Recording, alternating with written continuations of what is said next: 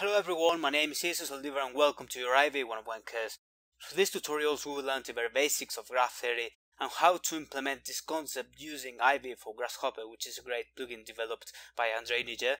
We will learn the very basic uh, workflow of this plugin and how to unroll mesh-based geometries in order to send them into digital fabrication processes. First off, we need to download the plugin from Food4Rhino we need to be logged in or if you don't have an account just create one? It's very simple. Look for Ivy in the search engine. Okay so we go in this search result.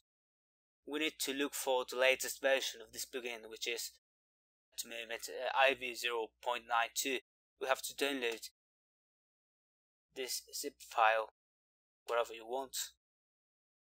I'll go to my containing folder and extract the, the contents of this zip file.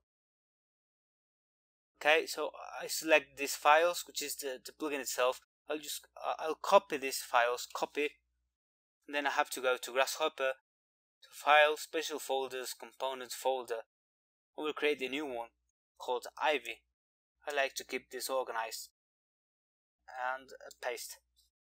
Okay, so after that we just need to unload uh, Grasshopper we're in Rhino and load it back.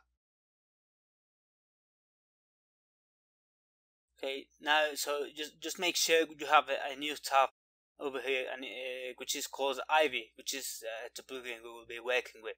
We will go through each of these components through these videos, uh, but first uh, we need to understand what is what is graph, graph theory itself.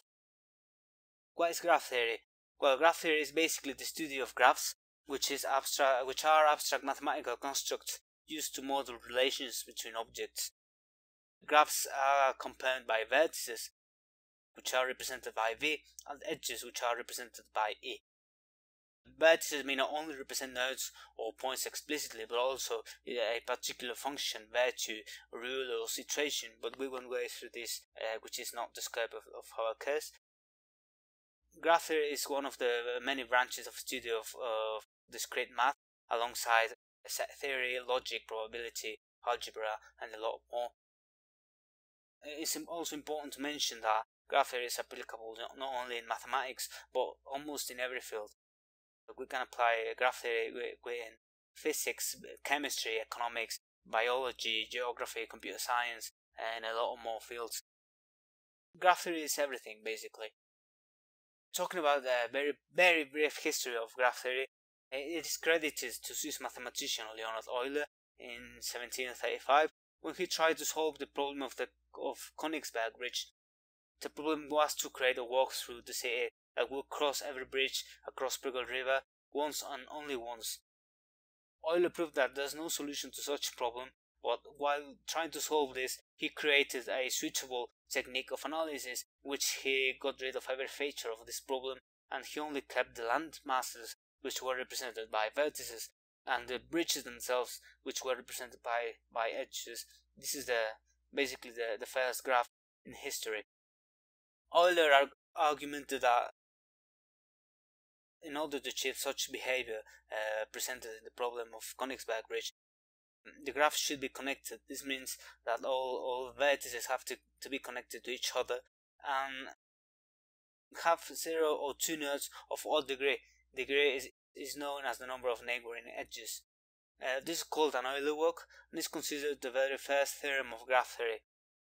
It is important to tell as well that graph theory is still under development, so contributions are welcome. Uh, graph theory has applications, as, as we mentioned, on, on everything, uh, but the scope of interest for us is architecture and design. We will use, uh, in this case, graph theory to organize our mesh geometry to create segmentations within it and unroll uh, our meshes to send them uh, into optimal digital fabrication processes.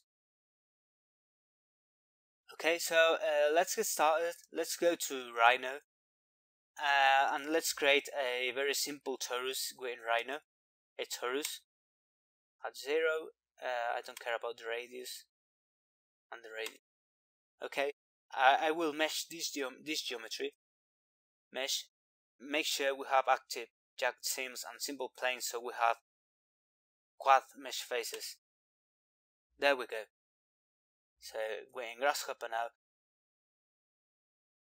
I will I will assign this mesh into Grasshopper. Right click, set one mesh. There we go. Okay, so let's get started with Ivy.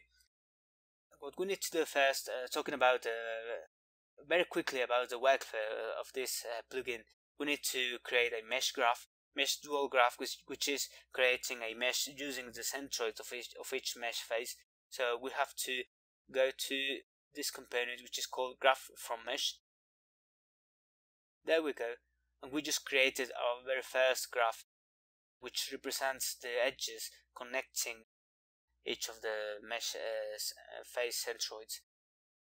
The next step, we need to assign weights to each to, to each of of the mesh edges. Weights are values which will be used to segment the mesh the way we want. In this case, we need to create strips of uh, mesh faces so we can unroll this torus uh, in strips. So we will uh, we will assign the weights of this uh, of this mesh uh, mesh graph using the angle between each mesh face. So we use the face angle edge weight component. We connect it here. There we go. Nothing seems to happen at the moment, but this this graph is actually weighted at the moment. The next step after assigning weights is creating a primary segmentation. This means using the weights information we can uh, select uh, among a set of different uh, methods or algorithms to, to split this mesh graph the way we want. We can use the Kruskal algorithm at the moment which works uh, pretty well. We, we will go through each of these algorithms in uh, later on in the rest of the videos. Uh, we connect this component to this one. And I will turn this off. And there we go. We can tell we created uh, an approximate of mesh strips. The edges are organized in, in strips of, of edges. And I will use this information to unroll the original torus into strips.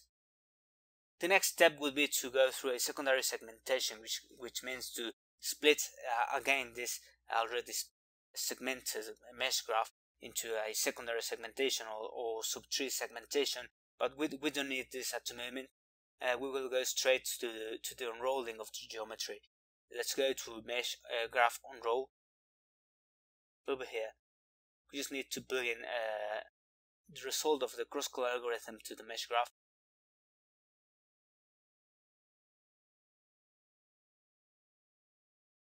And there we go.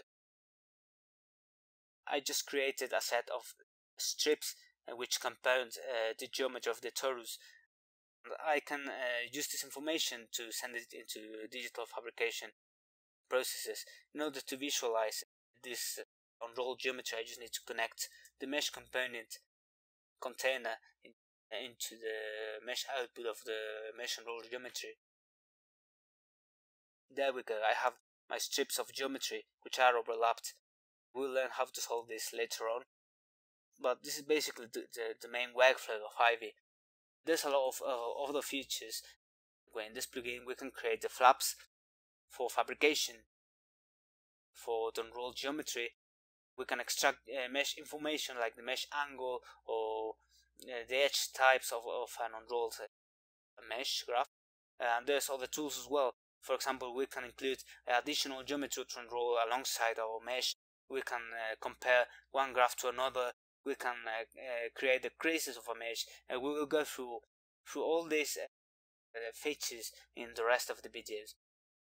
So thanks for tuning in, we will carry on to the next video and go in detail through each of these parts of the main workflow. thanks for watching and see you next time.